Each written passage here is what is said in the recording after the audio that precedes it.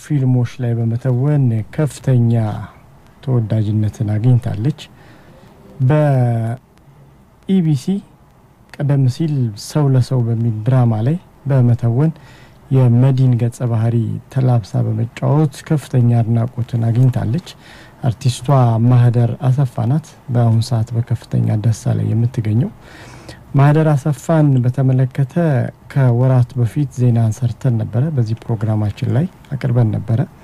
በወቅቱ ባቀረብነው ዜና ማህደር አሰፋ ነፍሰ ጡር እንደነበረችና የጽንስ ክትትሏን በዱባይ እያደረገች እንደነበረ በቀጣይነት ግን የጽንስ ክትትሏንና መውለጃ ጊዜም ሲደርስ ለመውለድ በባህር ማዶ ለማድረግ በመወሰን ወደ ሀገር አሜሪካ እንዳቀናች እና እዚያው እንደሆነች ገልጸን ነበረ።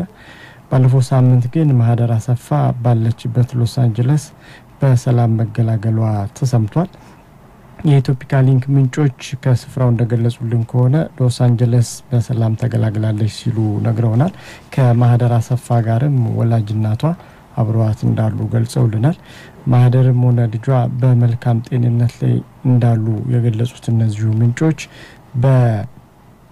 በከፍተኛ እንክብካቤና ደስታ ላይ ትገኛለች ሲሉም በስልክ ገልጸውልናል።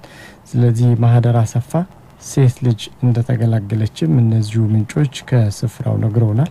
ለማህደር አሰፋ እንኳን ደስ አለሽ ለማለት እንወዳለን። ደስ ይላል። በርካታ ባለሙያዎች ለታላቅ ሀገራዊ ኃላፊነት ሊጣመሩ ነው። ለታላቅ ሀገራዊ ኃላፊነት የሚጣመሩት ባለሙያዎች እነማን ናቸው? ባለሙያዎቹ የሚጣመሩበት ዓላማ ምንድን ነው? ጉዳዩ በአጠቃላይ ዝርዝሩ ምን ይመስላል?